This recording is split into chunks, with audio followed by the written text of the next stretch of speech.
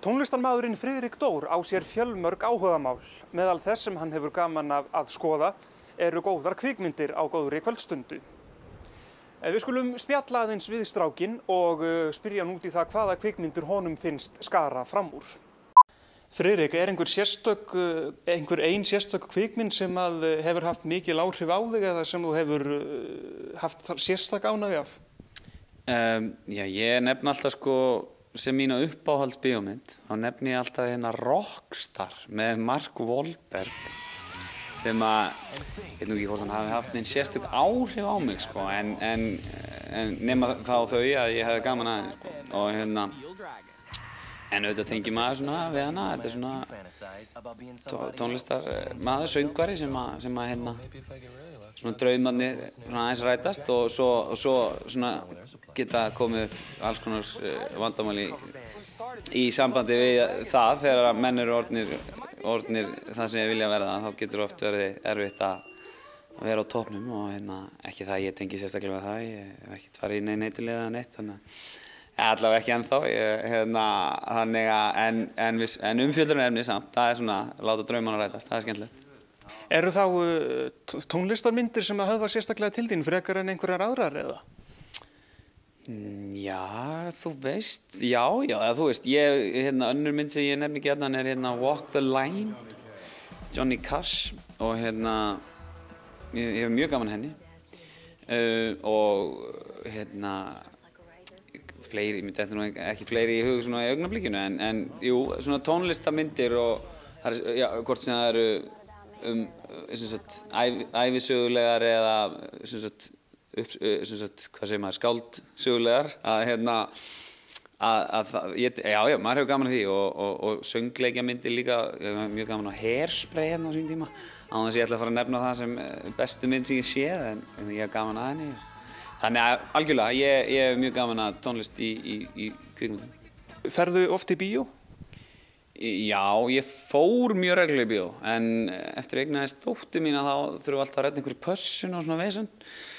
Og þannig að það hefur aðeins fækkað en ég horfi mikið á bíómyndir enga síður þá bara þú veist, í gegnum Apple TV og, og, og þess að þar þannig að hérna já, ég myndi segja að ég væri á, svona ágætlega tíður gestur Hefur einhvern tíma lappað út af kvikmynd?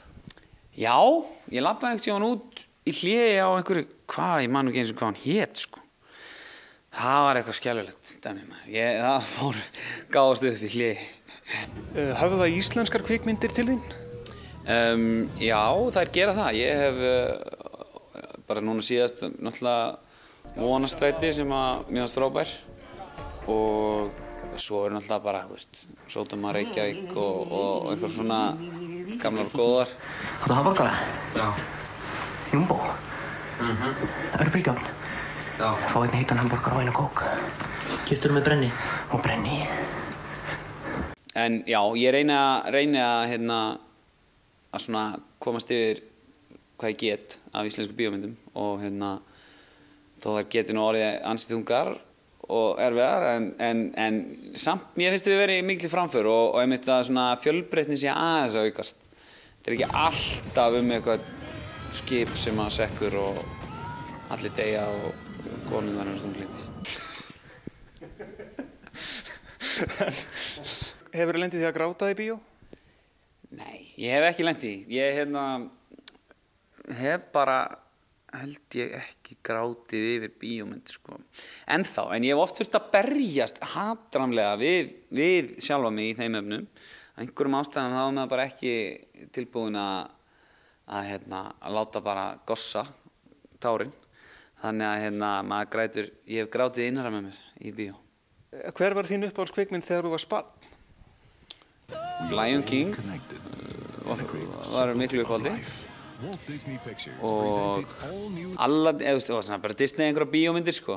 Og hérna en, en klálega Lion King langt mest svona í, sem ég tengi við sko núna. En svona í lokin, upp á gamanið, ef það gerði þið kvikmynd um, um þi- þína æfi og, og, og þitt lífslöp, hvern myndur vilja, vilja, eða hver myndur vilja að leki þig í þeirri mynd? Já, þetta er góð spurning. Ég hann þyrfti að vera frekar lágvaksinn og ekki í of góðu formi. Þannig að eh, ég veit ekki hver það er þig sko. Það er einhver svona þú veist, Danny DeVito er of lítill og of gamall náttúrulega.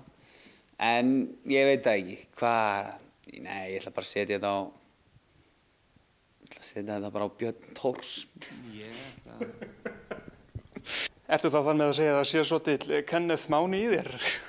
Eh, Já, það má segja það. Ég er ofta utan við mig, sko. En öðru leiti kannski ekki, ekki, ekki fara í fangilsi og, og er svona í kringum meðalgreind. Ekki þarna á botninum með Kenneth. En hérna, ég hugsa út í að það hefði kannski átt að hugsa máli betur með Björn Tór, sko. Þetta var kannski, hann er bæði hávaksin og grann, sko. Þannig að, en ég, ég þarf bara að senda þér mail sinna. Já, svo mörg voru þau orð, en hér rétt handan við hotnið eh, stiklum við á stóru á kvikmyndaferli Greenparsins Gög og Gokke sem voru með vinsælustu uh, grínleikurum fyrri tíma. Hvíta tjaldið, föstudagskvöld á INN.